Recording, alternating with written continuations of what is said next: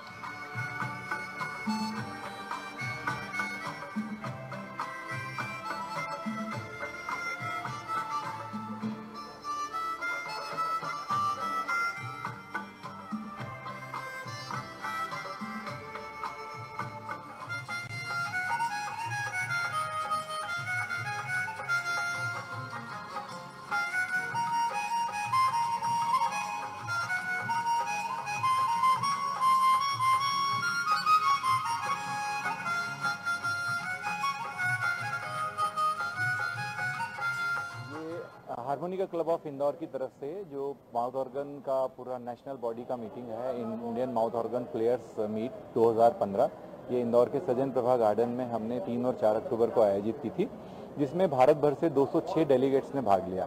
इसमें हमारा उद्देश्य रहता है कि माउथ ऑर्गन हारमोनिका के जो पूरे देश के प्लेयर हैं, एक छत के नीचे इकट्ठे हों, आपस में जुड़ें, उनके बीच में संवाद हो और नई नई जानकारियों से अपडेट हों और एक दूसरे से कुछ सीखने को मिले। इस तारतम्य में यहाँ 206 जो कलाकार आए हैं, सब अपनी इंडिविजुअल प्रस्तुति देंगे और बाकी के जो कलाकार हैं, उसमें उनको अपडेट करने के लिए, उनको इम्प्रूव करने के लिए सजेशंस देते हैं।